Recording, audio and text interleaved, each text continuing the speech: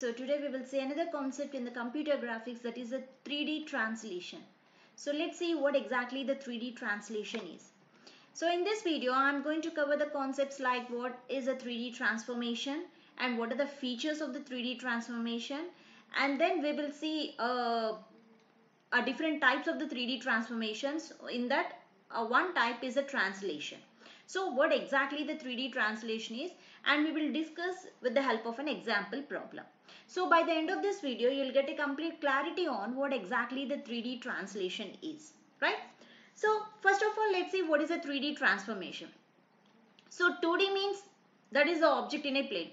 A 3D means you are going to see the image completely like the front end, back end, okay, top view, side view, everything object that you are able to see here like uh, that is a 3d object okay? So if you take any mobile phone uh, if you just take it it's a 3d object. So that is an object which you can see all the sides that is a 3d object right? So then what about the transformation? You know the general meaning of the transformation right? A transformation is usually applied on existing objects. So this is you had to remember that First, the object has to be created. Then only you can apply the transformation on that object. If object is not there, to which thing you are going to apply the transformation? Transformation is trying to change the shape as well as the uh, object. Uh, like the colors or the positions or changing everything. Uh, the image is going to be changed so it's slightly uh, small and it's slightly big and it like some uh, a tilt position like that whatever the existing object is there, that object is going to be change its uh, nature, right? So transformation is usually applying on existing object. It is a way of modifying and changing the position of an object in a computer graphics.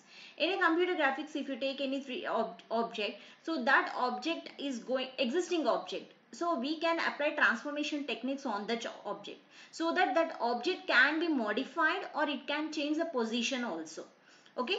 So it can manipulate the view of a 3d object based on its original position by changing the physical attribute of that object with the help of methods of transformations like translation rotation scaling. So whatever the object position is there so by simply changing the original position points will be there the physical attributes of that object. If you change the physical attributes of that object automatically the object uh, is going to be varied. So based on the methods like you can do the translation you can do the rotation you can perform the scaling you can perform the sharing you can perform the reflection so these are all the uh, manipulations that you are going to be do on the 3d object. Okay? So if you see the uh, image in the picture so this is a 3d object. See here this is a 3d object. You are going to see the front view. This is the top view. This is the side view. This is the back view. So object that will be present on a 3d plane that is a 3d object. So 3D objects have, these are the coordinates, okay, x, y, z coordinates. So these are all the different x, y, z coordinates, okay. So now let's have a look on what are the features of the 3D transformation. So a 3D transformations are drawn on the 3D plane. We are going to draw on the 3D plane.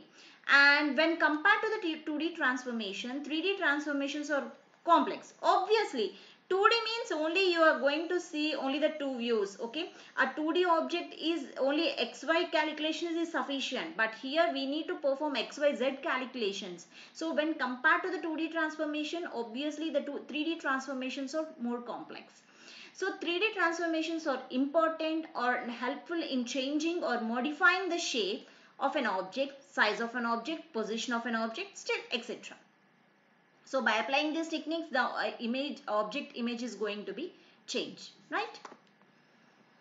So now let's see the types of the transformations. The different types of transformations that are used in the computer graphics are translation, scaling, rotation, sharing, reflection. So these type of transformations we can apply on the 2D objects as well as the 3D objects.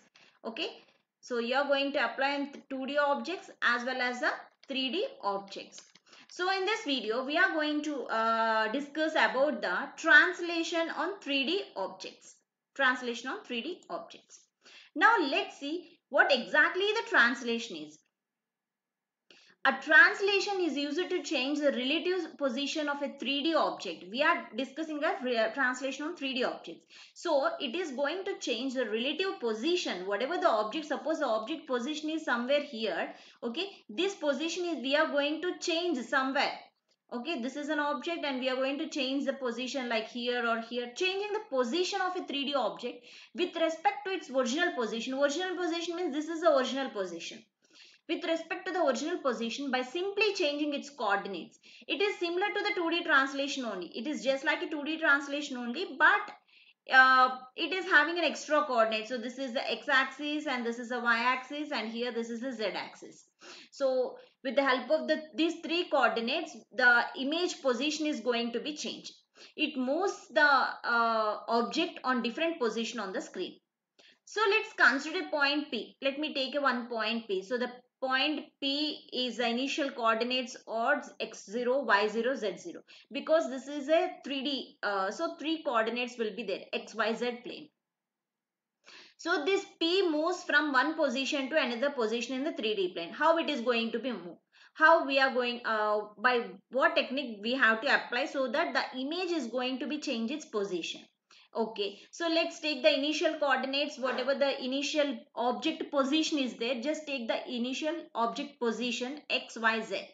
So that is the initial coordinates x0, y0, z0. The new coordinates p dash, after translation, let's take x1, y1, z1.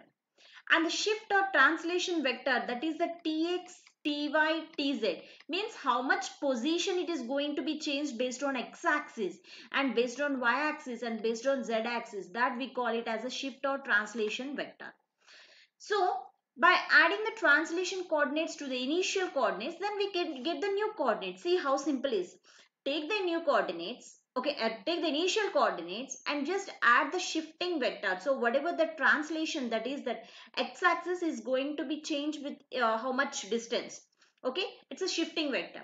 So translation on x-axis is the new coordinates x1 is x0 plus tx y-axis is y1 is equal to y0 plus ty and z-axis z1 is equal to z0 plus tz so the matrix in 3D image, if you consider the 3D image, so this is the new coordinates p x comma y comma z is 1 0 0 0 1 0 0. So this is a homogeneous coordinates and whereas dx, dy, dz or nothing but tx, ty, tz. Don't get confused. Both are the same only. If you want, you can write the tx, ty, tz.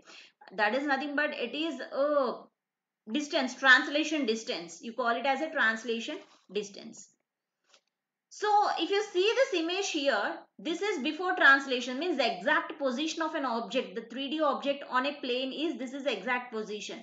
And this is after translation the image is going to change its position. So see here this is x-axis and this is y-axis and z-axis. So wherever the object that here the object is like this but when apply the translation technique the object is uh, somewhat changes its position okay? And it generates a new coordinates a dash b dash c dash d dash e dash f dash. Okay? Uh, g dash o dash. Okay? So these are the initial coordinates. So by applying the translation factor to that uh, object uh, that coordinate then you'll get a new coordinate. So that is a simple so i'll take a problem so the same problem, whatever here in the example, so how this image is going to be occurred and how the coordinates are going to be changed, that we will see in the example problem. Okay, so here I am going to explain the two examples. One is uh, uh by taking only the three coordinates and uh, uh, applying the technique. So next I'll explain uh, by taking all the coordinates how it is going to be changed. See here. So here I am just taking a single coordinates like translate the given point A, only one coordinate I am taking. So first see how the one coordinate is going to, uh, by applying the translation factor, how the uh, new coordinate is appeared. So same technique you will apply on the four coordinates. Translate the given point A 10 comma 10 comma 10. Okay, this is x naught, y naught, z naught into the 3D plane with a translation factor tx, ty, tz. Find the new coordinates after translation. So we know that if you want to find the new coordinates x dash, y dash, z dash and you have to keep one. You will get four here the homogeneous coordinates here So apply the matrix method 1 0 0 0 0 0 1 0 and 0 0 1 and here 10 20 and 5 these are the translation vectors. 0 0 1 okay and what are the x y z? X naught y naught z naught 1 so if if you multiply this you will get 20 30 15 1 so these are the new coordinates or the new coordinates p dash that is x dash, y dash, z dash is equal to 20, 30 and 15. So these are the new coordinates. So this is only I, I found out uh, find out the only one coordinate here. Now apply the same technique here. I am considering the another example. So in this example, I am going to consider a cube.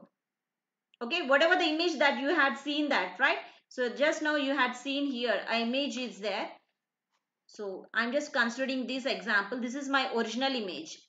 This is an original image. The same coordinates I'm taking here. So the new, these are the x naught, y naught, z naught. Okay. So for O, A, B, C, D, E, F, G. So these are all O, A, B, C, D, E, F, G. It's a cube. So where the translation vector towards x-axis that is Tx is equal to 2 and Ty is equal to 4 and Tz is equal to 6. So these are the translation vectors. So now apply on the first coordinate then you will get a O dash, a new coordinate for the O. Okay. So x dash is x y z 1, 0, 0, 0, 1. So all zeros is the O. Okay. That is x, uh, this is a O. O into tx. Okay. Translation vector. 1 0 0 0 0 1 0 0 0 0 1 0 and tx ty tz 1 so if you multiply this, you will get 2461. So you will get the one new coordinate O dash. So in the cube you get one new coordinate. So like that the all new coordinates you need to be find out. So for A dash 040 is the A. 040 is the A. See here 040 is the A and 1. So apply the translation uh, uh, 3D matrix. So this is the A dash new coordinates. In the same way B dash, C dash. Multiply. Just simply multiply. Okay. So like that you will find out the D dash, E dash, F dash, G dash. So all the new coordinates you find out. Then apply these coordinates on the 3D plane. Then you will get the image. So this is the image you will get. Okay. So this is the A dash. A dash is nothing but what? 286. These are the new coordinates. 286. And B dash is 2810. And O dash is 246. And F dash is 2, 4. This is also it's 10. And G dash is 6, 4, 10. And E dash 6, 4, 6. Okay. D dash 6, 8, 10. And C dash 6, 8, 6. So these are the new coordinates. So whenever the new coordinates are there in the 3D plane, the object is going to be translated. Means it change its position. If you want to change the position of an a 3D object, try to apply the 3D translation technique. Okay. So is it clear? So still if you are facing any doubts, please let me know. Thank you.